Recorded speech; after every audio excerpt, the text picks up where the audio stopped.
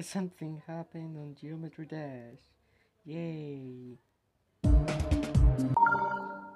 Actually, this happened.